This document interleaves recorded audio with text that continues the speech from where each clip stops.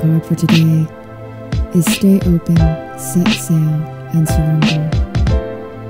You'll receive more intuitive guidance and more co creative assistance from Spirit if you surrender now. Stop paddling, put up your oars, and let the river take you. Stay open to unexpected bends in the river, guiding you to the perfect port. Don't strategize, just recognize divine direction.